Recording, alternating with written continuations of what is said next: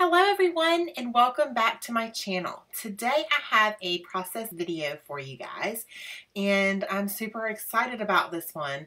It is um, the ladies that are joining me this month for the video a day. Um, it is Christy from Christy's Beautiful Life's birthday today. It's her 30th birthday.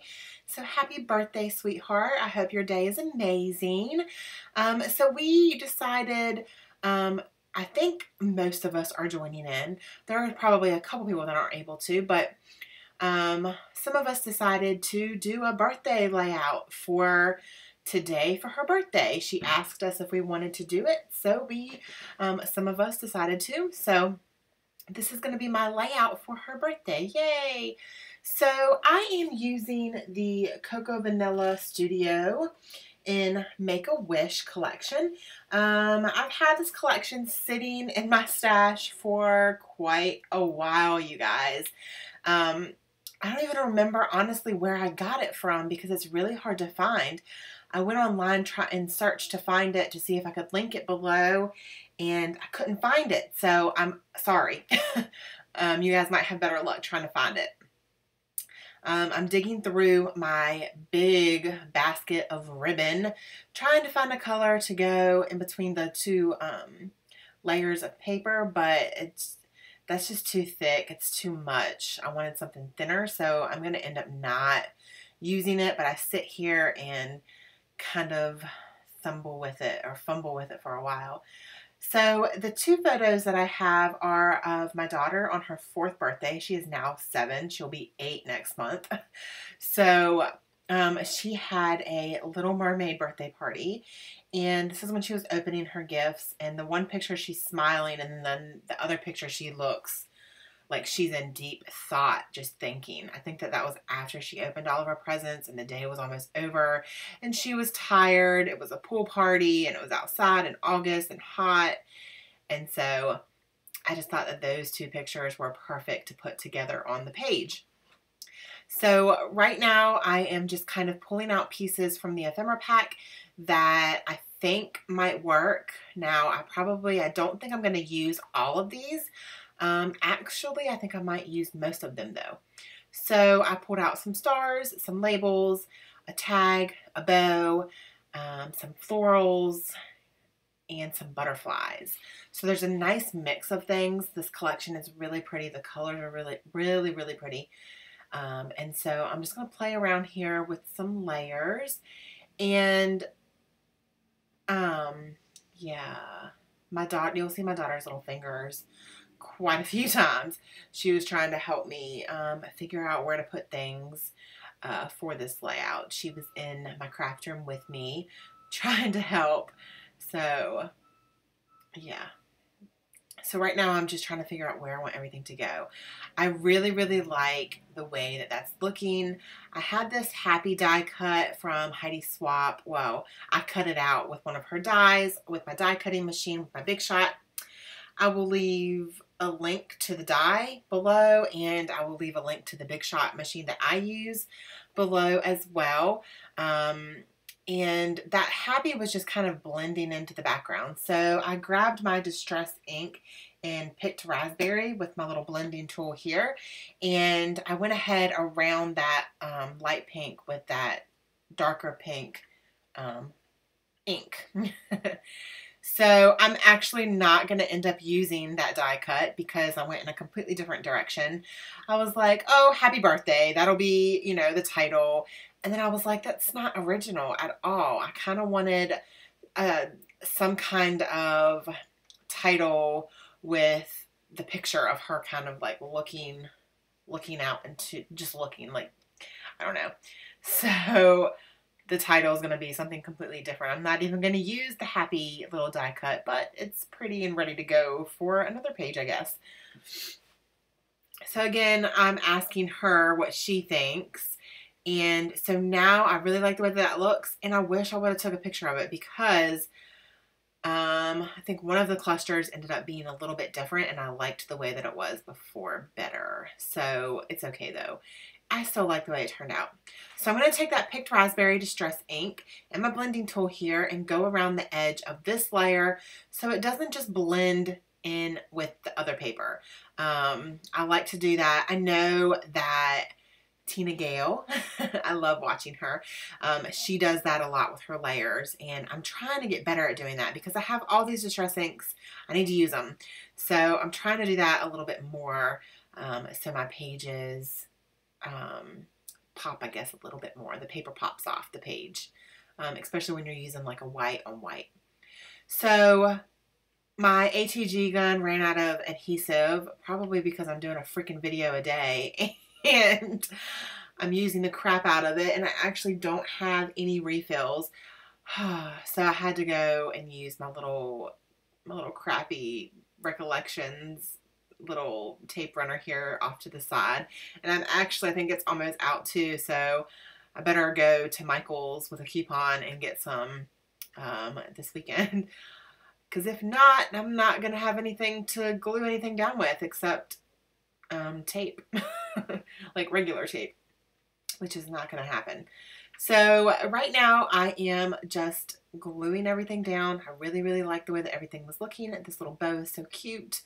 I am going to use some foam tape on some of the pieces because I want to add a little bit of dimension. This page is super colorful and if you guys have been watching me for a while, you guys know that I love a good white background or a good solid black background with a pop of color. Um, those are like my go-to kind of layouts, I guess, or backgrounds. And so this is a lot of pattern. This is a lot of pattern for me, you guys. So I felt like some of the embellishments were kind of getting lost with the pattern paper. So some of them I decided to pop up on the foam tape to help with that. But I really love the way that this page turned out. I love pattern paper. I absolutely love to look at pattern paper. But um, sometimes I'm a little intimidated by layering or not layering, but having pattern paper as my whole background and not having any any um, like just plain like cardstock. And so even with these photos, I didn't put anything. I didn't put a mat behind them. I just left a white edge around the photos um, from where I printed them. And I really like the way that it turned out. I honestly am going to have to play more with pattern paper because I love pattern paper. Like I said, it's so pretty and fun to play with and layer but you don't, when you just layer them behind the photos, you don't see as much as the pattern as you could if you do the whole background with the pattern. So I'm happy with the way that this came out. My layering is getting a little bit better, or my little embellishment clusters are getting better. Um, I feel like the more you practice, the better you get. And that's really, it's honestly the truth. Um, so I'm taking some of the stickers from the sticker sheet and I'm going to layer them on top of the tag. So the ones that I used was Dream, Party, and Wishes.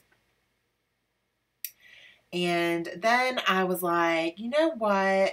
I want to use some of the chipboard stickers. So I'm going to end up using, I think, like one, I think. I think that that little photo corner thing is the only one that I end up using. I try to use some, but I just didn't want to overdo it because there's so much pattern and I do, I do already have a lot of embellishments on this page. So I'm going to use some of these stickers um, for some more layering. This little circle one is really pretty with the floral on the one side. So I'm going to cut that in half because I couldn't get the whole thing under there. And then I'm going to put some of it there and then I'm going to put some of it right here below this label um, for a little extra layer to peek out and I'm going to use some of these little la labels and one of them says love this and I was going to use the letter stickers that came with this collection but I'm really bad with using letters that have patterns on them. I love to buy them but then they sit in my stash and I don't use them. Um, I, I just felt like they're just getting lost. They're lost on the page. You're not going to be able to actually see what it says. For me, I just don't feel like it's going to look right. So I put them back. Hopefully I'll be able to use them though. I feel like it would be better on a solid color, um, a white possibly. so I go through, I go on a hunt through my thickers and I know what title I want to use. And these, this color would have been perfect, but I didn't have the right letters. So I pull this out and I'm like, oh, it's close, but it's not the exact color that I want. So I'm still looking and I'm looking and I'm looking and I don't have anything. I was so disappointed. I didn't have anything and I haven't bought thickers in a really long time, like just letter thickers. Um, so maybe I need to get on that. But these, I was like, uh, I don't know. I don't know. I think these are the only ones that are even close enough that might possibly look right or that might work. So I'm going to go with it. And in the end, I'm happy with it and I like the way that it looks. Now, I did have to make a Y with an X and a 1 because I had no Ys. Um, surprisingly, I don't know how that happened, but I didn't. So I just, just rig it up, you know, just cut it down, trim it, do whatever you need to do. And it's a little short, but it's okay.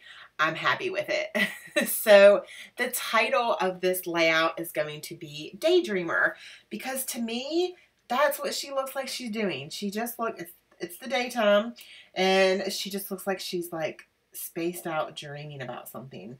Um, she's got her fingers on her toes and she's just like spaced out, like space cadet kind of daydreaming. And I love it. I love the way that it looks. Now, I was I layered these two little pieces from the ephemera pack and wanted to use them, but I decided not to. It just wasn't going to fit anywhere.